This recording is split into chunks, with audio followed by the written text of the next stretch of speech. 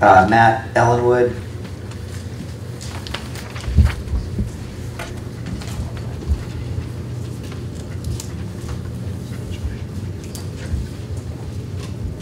Uh, My name is Matt Ellinwood, and I work for the North Carolina Justice Center's Education and Law Project. Um, Thank you, Representative Bryan and members of the committee for the opportunity to speak today, and I'll echo Representative Warren's comments about how it is a fair and balanced approach that you've taken in this committee.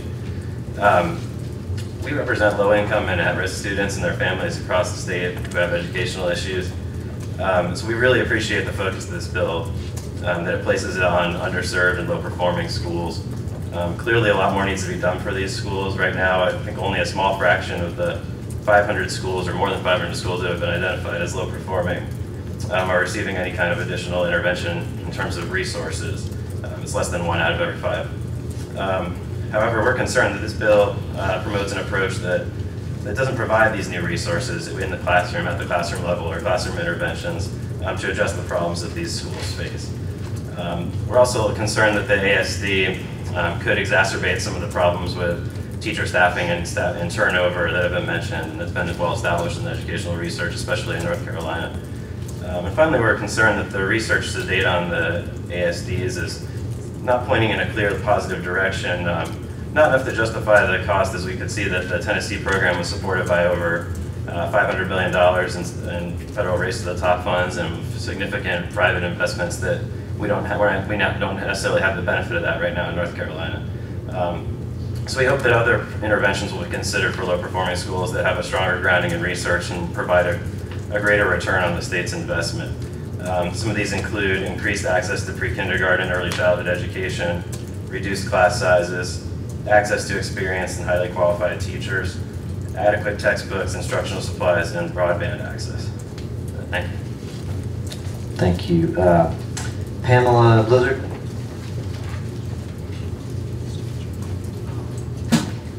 I'm Pamela Blizzard. I'm here as one of the founders of Raleigh Charter High School and Research Triangle High School in Durham County. Um, Our children's education has been a passion of mine for almost 20 years now. And I, I'm here to ask you to consider supporting a pilot of an extremely well-designed Achievement School District program in North Carolina. Um, I also want to say thank you to Doctors Henry and Glazer. My notes started out looking like this, and if you can see all the red, it looks like uh, My notes are about 90 seconds long now. Um, I want to state that I think if solid, experienced, well-grounded charter schools can give at least five of those over 400 low-performing schools in our state the help that they need to best serve our children, I, I think that that's something strongly to consider. Uh, When we opened our school in, in Durham County four years ago, a student was debating whether to stay with us after the first year because it was so hard. And I, I pulled up the DPI's website and I showed him the school that he was considering going to, his base school. Seven percent of the students were proficient at that school. And at our school immediately in the first year, forty-two percent of the students were proficient, which is still not good enough, but a pretty strong comparison. Um, we have schools in this state that are so low performing, it, it's almost, um, uh, criminally negligent. Um, charter operators that specialize in meeting the needs of students in, in poverty, living in poverty, who are attending low-performing schools, would love to be able to take on this challenge. Um, this year and in the future, the students in these schools need that incredible expertise that, that charter operators who are incredibly experienced at doing this could provide. And no child should have to wait year after year after year while programs are slowly rolled out to first one district and then another across the state. Um, rather than skipping a potentially successful program before it even has a chance to begin, I ask that you tailor North Carolina's ASD program to tackle some of these successes that we've heard about today and have learned from, from other states' programs.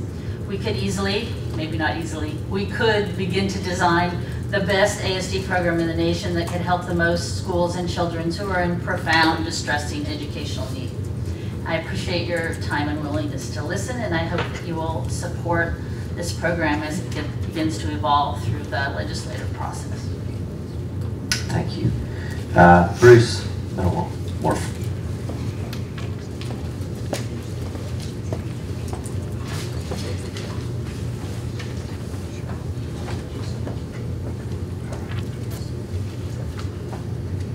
morning.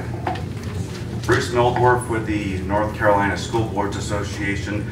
Unfortunately, I did not come with any notes, so I am kind of all over the place this morning, so bear with me. Um,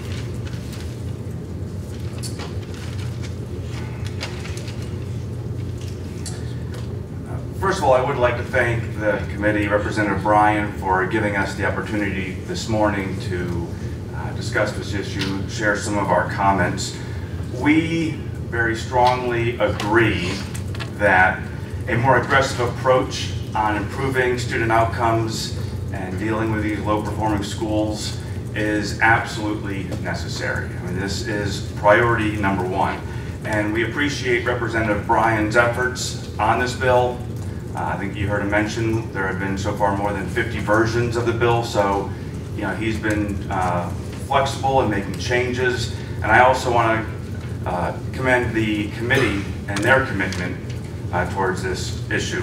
Uh, so far in the meetings, there have been good questions, good dialogue, and we appreciate that very much.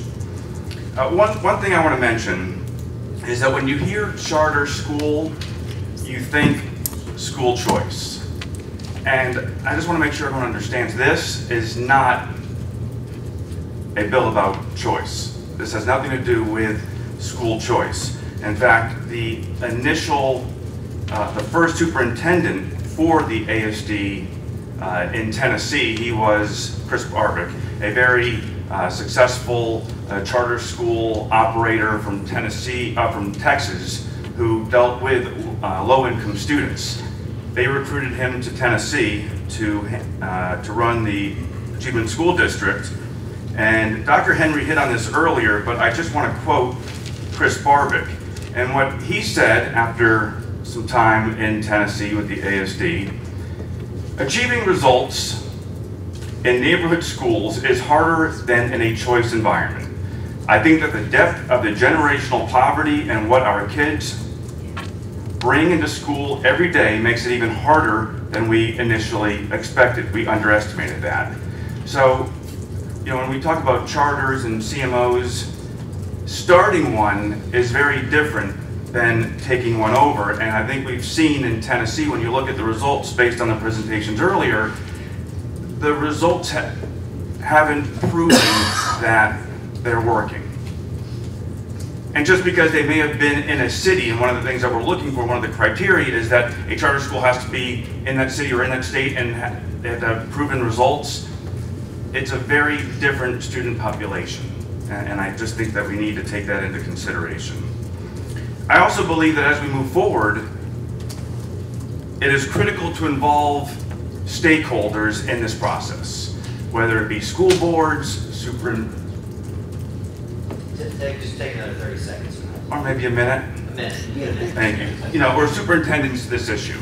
Um, we have provided feedback to Representative Bryan. Um, we would like to sit down with him and discuss this with committee members on, on solutions. Um, but we have provided each of you a seven, a list of seven pages of really legal concerns, pitfalls that we see that if not addressed um, will present legal issues and potential lawsuits. And they really need clarification in moving forward. For instance, uh, Representative Horn talk, asked about facility and capital expenditures, and I think the, the woman from Tennessee said that they've kind of split that. Well, in this bill, it basically says that the school, the local school boards are responsible for, and if I could just, uh, I know this, it says, quote, the local Board of Education shall be responsible for facility and capital expenditures at the qualifying school.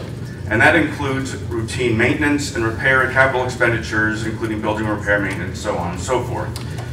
But as you know, there's very little money out there that districts currently have for this stuff.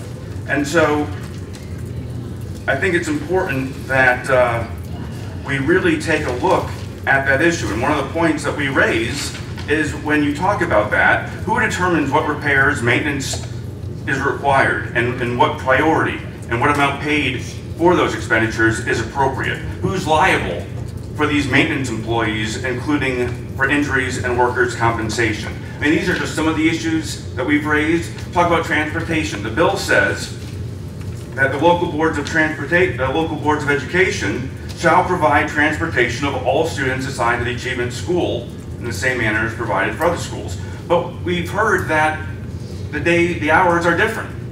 You know, so how can a district be held responsible for that transportation if they go to school on Saturday, if they get out at five o'clock, if they have different vacation times? How is that gonna work? And, and these are issues that we've raised that are just not alluded to.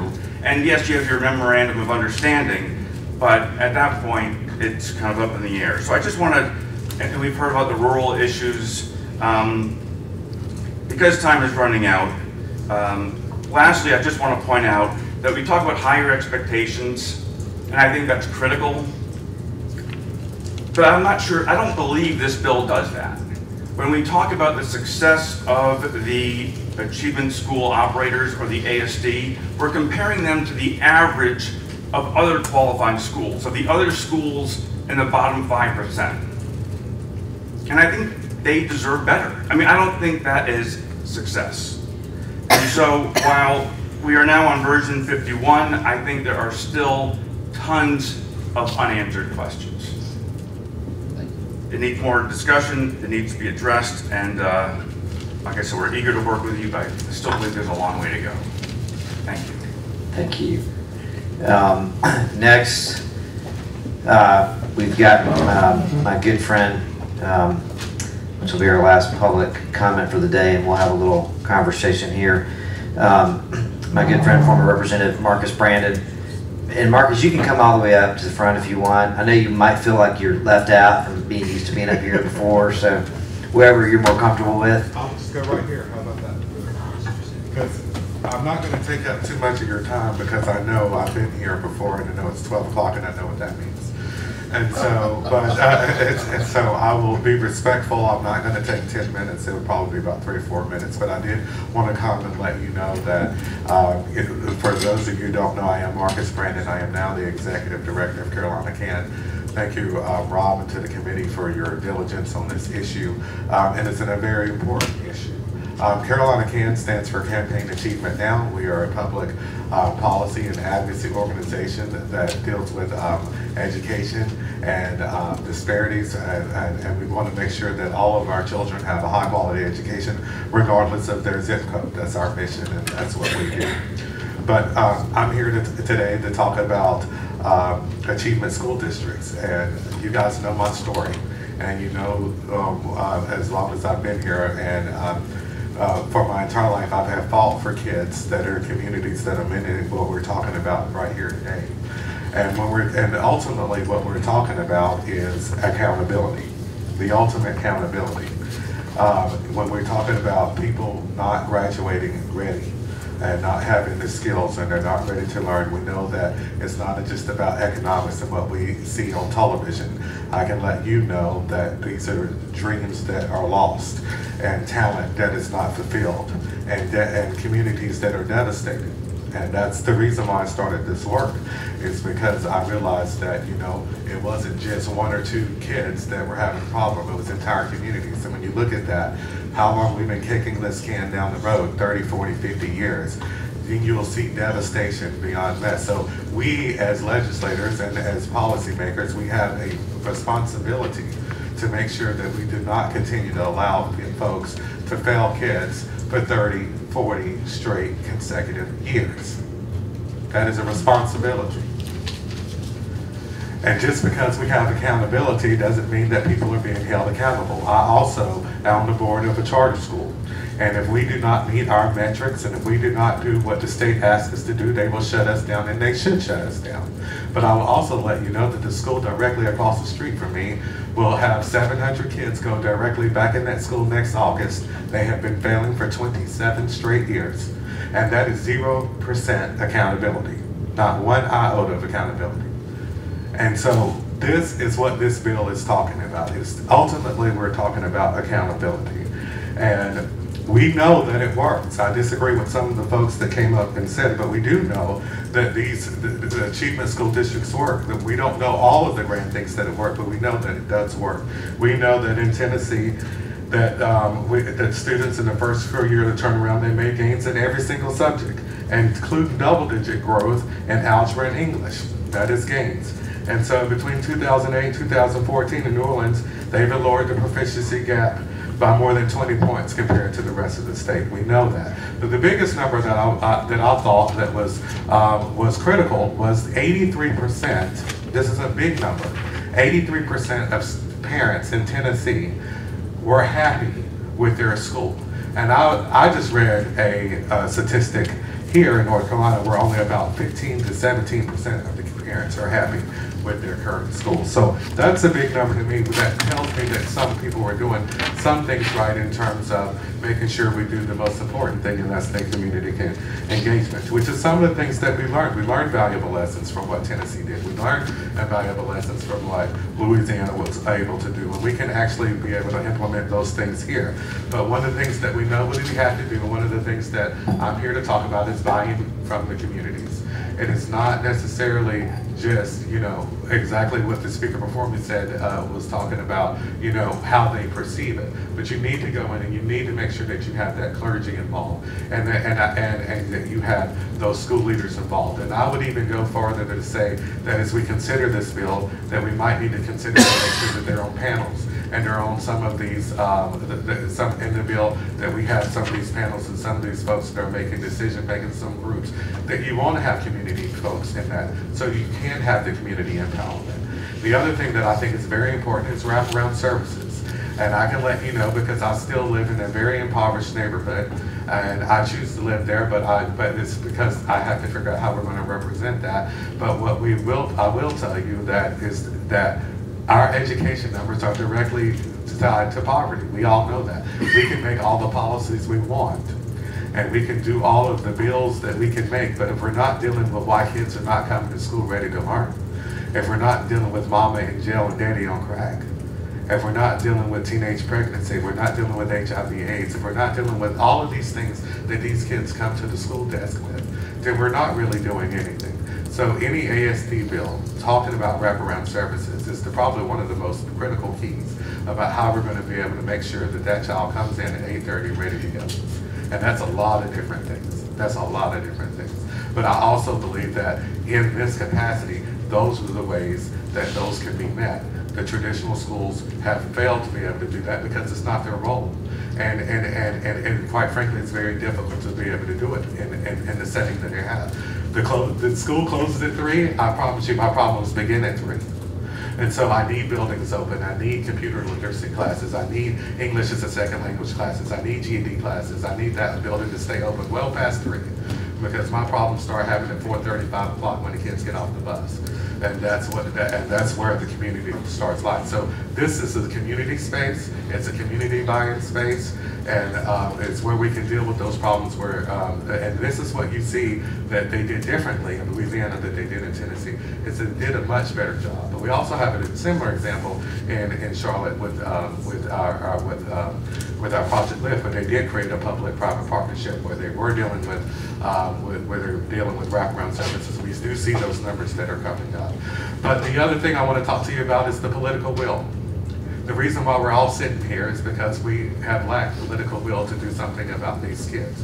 The reason why we have 40 years of the same exact number, for 40 straight continuous years, and I'm giving the benefit of doubt of 40 is probably longer than that. But every single thing that we have proposed, the naysayers will always come up with a reason not to do it. Which is exactly the reason why we're sitting here today. The only way that you can get 600 schools to be in the lowest 5% of the state for 20 more years or so is because you don't have the political will. Everybody wants to kick the can down the road. Every idea that's proposed, you find 50 excuses not to do it instead of just doing it. This is an excellent opportunity to, to look at it from the the, from the last speaker, to look at this as a pilot program, but this is the excellent opportunity for this General Assembly to say, no longer will the state of North Carolina accept youth failing kids for 20 straight years. We do have something and mechanism in place. We will implement it. If you don't do your job, DPI, we will do it. If you don't do your job, SBOE, we do have these mechanisms in place and we will implement it. And you watch school districts around the state do everything they can not to be a part of that, and that's a good thing. But if we don't have anything, we don't have a policy that says that we can continue to fail kids, they're gonna continue to fail kids. We've got fifty years of examples. So I'm gonna finish my comments with this. Have the political will to make sure the state of North Carolina does not continue to let kids look like me dash their dreams, hopes, and talents. We can do better. We can do better. Thanks a lot.